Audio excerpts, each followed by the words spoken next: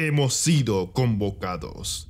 No los destacamentos del ejército que nos acompañan, no los auxiliares, no el mecánico, solo nosotros.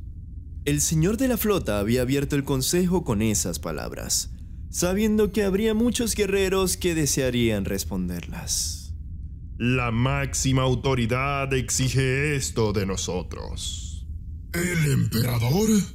La máxima autoridad que reconocemos. Los consejos de guerra de Malcarión eran reuniones informales, aunque no carecía de cierto protocolo.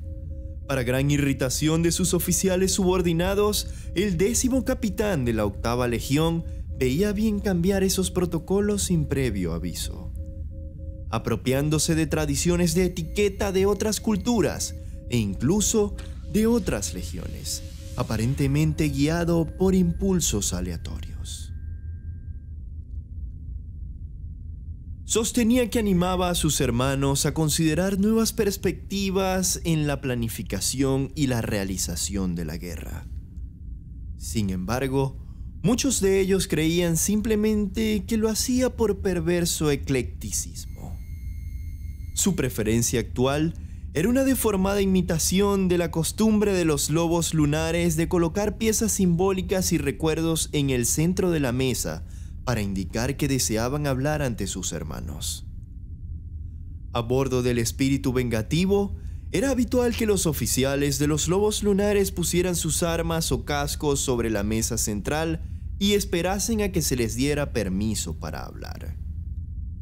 Aquí, en los consejos de guerra de la octava legión, a bordo del pacto de sangre, Malcarión había decretado que sus oficiales solo podrían usar trofeos tomados de los cuerpos de sus enemigos caídos.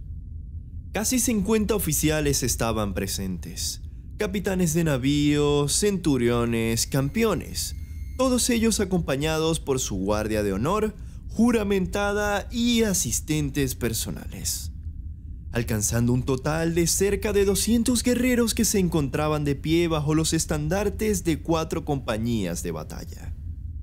Cada amo de la noche presente tenía derecho a hablar sin importar su rango, lo que implicaba que los cráneos usados como trofeos eran abundantes. Las calaveras excesivamente grandes y alargadas de alienígenas muertos se apilaban sobre la mesa.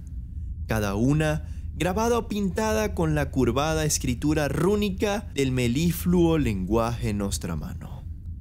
Aquí y allí, entre las piezas de hueso despellejado yacían armas exóticas y trozos de armaduras de culturas humanas caídas, reinos bien sometidos por la octava legión, bien extinguidos por ella.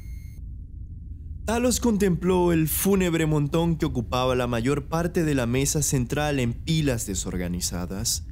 Fuera cual fuera el orden que imperase en la tradición de los lobos lunares, esta estaba ausente en la versión de los amos de la noche. Sin la memoria idética de un marín espacial, recordar qué guerrero había colocado cada reliquia habría sido imposible. El joven apotecario Llevaba su yelmo bajo un brazo, respirando el cálido y estancado aire que apenas circulaba por la cavernosa sala. Un dulce hedor se aferraba a sus sentidos, algo no muy distinto de una mezcla de comida podrida y una especia extrañamente almizclada. La encontraba empalagosa más que desagradable, Talos dedicó una breve mirada a los cientos de cadáveres que colgaban del techo sobre cadenas industriales. La mayoría eran humanos o Eldars, cuyas armaduras estaban agrietadas por los disparos y rajadas por las cuchillas, y la mayoría no eran más que fibrosos esqueletos cubiertos por placas rotas. Varios estaban colgados por sus muñecas y cuellos, otros por sus tobillos con sus manos muertas colgando hacia los oficiales reunidos en suplicante silencio. Muchos de los cuerpos estaban tan envueltos en cadenas y grilletes que parecían haber sido atrapados por los hambrientos caprichos de algún imposible arácnido metálico. El apotecario devolvió su oscura vista a la reunión. Un ololito de la armada de los amos de la noche dominaba el aire por encima de la mesa cubierta de reliquias, mostrando las 15 naves de diversas clases que escoltaban al pacto sangriento. Talos observó la nave de guerra, su hogar desde que abandonase Nostramo hacía ya tantos años, mostrada en luz azul y parpadeando mientras navegaba en formación. Los cruceros menores y las fragatas de escolta giraban en una lenta danza perimetral en torno a su nave insignia, mientras las otras naves de guerra de los amos de la noche se mantenían cerca del pacto en el corazón de la flota. Talos había visto morir a su mundo natal desde la cubierta de mando del pacto. Había estado allí con sus hermanos más cercanos hacía más de dos décadas, cuando la octava legión derramó fuego sobre su propio mundo de nacimiento y lo desgarró con la furia de 10.000 cañones.